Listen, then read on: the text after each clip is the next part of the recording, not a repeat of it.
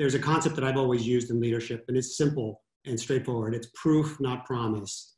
Meaning, you can say all of these things, but you have to act them out. You have to put them into place.